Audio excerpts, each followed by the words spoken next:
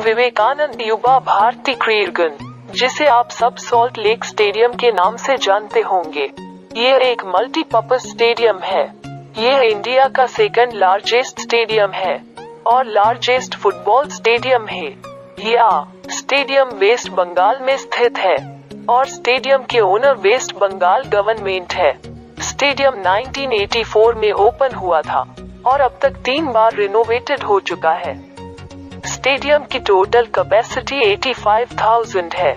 Stadium की record attendance 1997 में दर्ज की गई थी जब 131,781 दर्शक ईस्ट बंगाल और मोहन बागान का मैच देखने आए थे।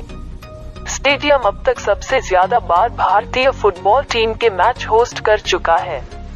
और stadium FIFA under 17 world cup का फाइनल भी होस्ट कर चुका है।